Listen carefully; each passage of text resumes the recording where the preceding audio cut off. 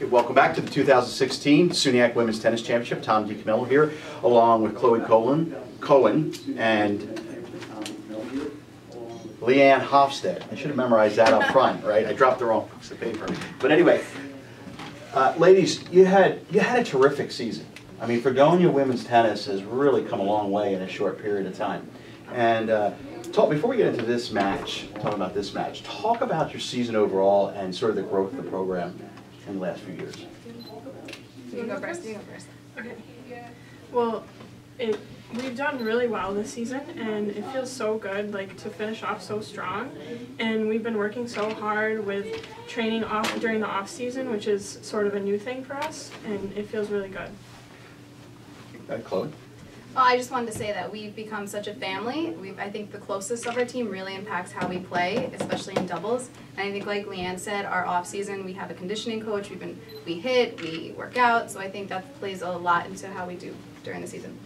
Now, Chloe, you're from Long Island, correct? Yes. So how did you end up at Fredonia? Uh, It's about as far away that from is a state as you can get. question. um, when I did the SUNY tour when I was a senior in college, and Fredonia stuck out to me. I love the atmosphere. I love the campus, and I love that it is.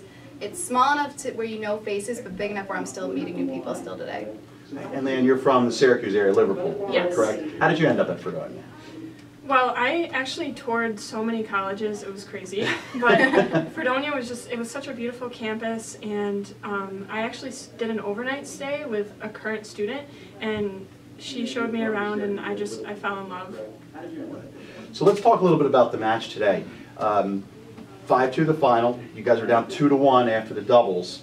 Um, how much pressure is there when you when you fall behind in the doubles, and you're in a format where it's a race to five as opposed to a regular season where everybody's playing out? To be honest, my strategy, I don't even pay attention to the score. I just focus on every point that during that game. So you don't peek at the other scores when you're playing. I do. I like to see how all my teammates doing, who needs encouragement, but my main focus is all right. Just get the next point. Yeah. Yeah, like you, you really can't let the score get into your head. Like you have to just go one point at a time, and that's the best way to do it. Is there a big difference between playing indoor and outdoor? Oh, absolutely. So what are some of the differences? Well, outdoor, I think we tend to hit very high because we think it's going to drop. I know we did a drill before SUNYAC that we actually cut our court, the, the lines, we made it uh, smaller. So we're used to playing indoors. That way, when we hit, we're not hitting as hard. We're hitting it short to make sure it definitely goes in. Well, for me, it's the lighting. Like, I feel like it definitely messes with your depth perception, so you have to be careful with that. But once you adjust, it's okay. It's funny because that has come up several times from players, is that, is the lighting, and very different from playing outside even in the sun. And, and they had a struggle. The other thing they talked about was the green on green. With the ball, the Mhm. court, and the backdrop. Talk a little bit about that. Is it just, does it make you have to react quicker because you don't pick it up right away? Yeah, it's it's almost like you, you your eyes just kind of have to adjust to it.